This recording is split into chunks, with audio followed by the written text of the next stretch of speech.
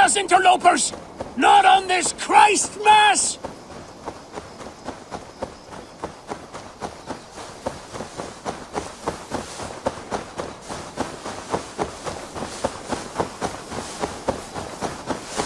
These Shag is a great escape. That is my meaning in this story. If you find another, that is yours to keep. Okay, back to these swan roads.